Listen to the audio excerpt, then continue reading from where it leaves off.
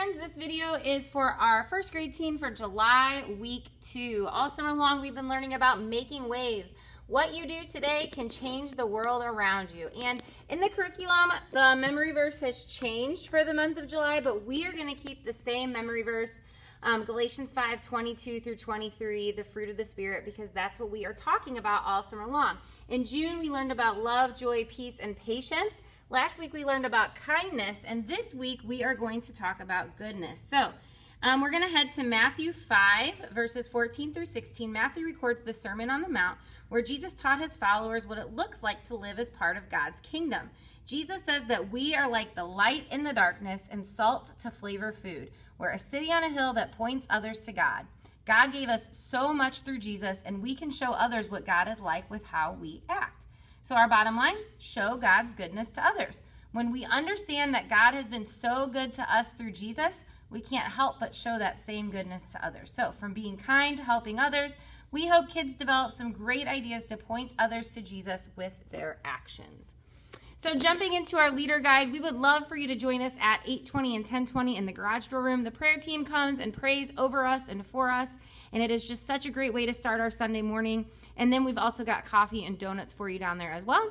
Then just make sure that you are in the first grade room by 8:30 and 10:30 so that you're ready to roll when kids come in at 8:40 and 10:40. When they first come in, oh, I forgot to bring them down here, but we've got our coloring pages that we've had this whole summer. Um, this week it's all different kinds of lights because we're talking about how we are um, like a light on a hill, a light in the darkness for other people. And so um, this week, that's what their coloring pages. Then when service starts at 9 11, if kids are still coloring happily or playing with toys, that's totally fine. If you'd like to do an interactivity, this bowl shuffle is the interactivity that you'll do. So just on your table, you're going to put three bowls face down. You know, this is like the hat dance at the Cardinal game. And um, I've got three objects in the bowl. You can start with just one object and kind of swoosh the bowls around. And then if you'd like to, you can put three different objects under three different bowls and see if kids can figure out where they're all at. So those are under here in your cart. I've got like a little Lego, a little toy, and a hair tie that you can use underneath the three bowls if you want your kids to guess. And then to close that down, you're just going to say, today we'll hear about something that definitely should not be hidden under a bowl or anything else. So that's your interactivity. Then at 10 after, you will head over to large group. Just try to make sure that you're right on time. That way we can end large group on time for our older kids to have um, the right amount of time at the end of service. When you get back, your little application game is going to be called Glowing Goodness. So what you are going to do is divide your group into two teams and you're going to give each team 10 glow sticks and a set of goodness strips and tape. Um, Joellen and Lisa might do this for you, especially first service while you're in large group. Um, so it just kind of depends. So you're going to tape the strip parallel behind, um, sorry, and they're going to tape a strip behind each stick parallel to it so that it appears that the paper is glowing. So the glow stick will be behind the piece of paper.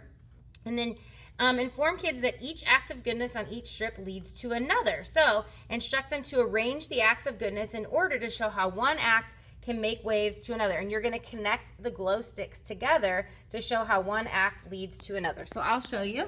These are down in your cart. I don't have the glow sticks down there yet, but there's, um, you have four sets altogether. So two sets for first service and two sets for second service.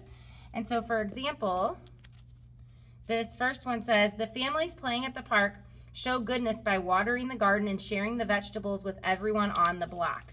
So then you would need to find the paper that would, um, the neighborhood cleanup shows goodness by clearing trash and planting a garden in the park.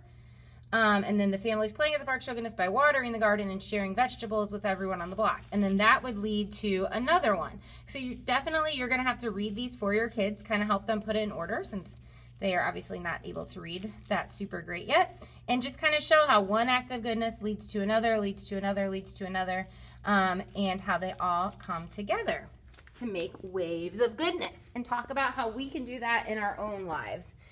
Um, it's a great way to show that when we show God's goodness to others, it can change the world around us. And then maybe ask kids for some examples of God's goodness and how um, they um, how it feels when someone shows goodness to you and how it feels when you show goodness to someone else.